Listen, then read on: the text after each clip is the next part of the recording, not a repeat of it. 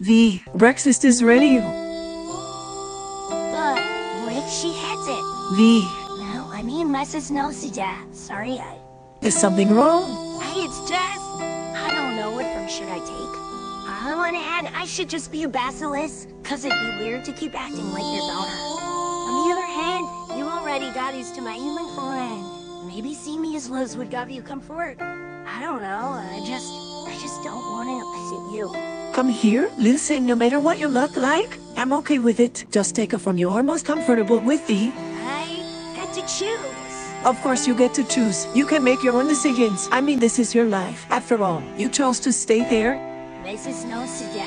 You? Of course you get to choose.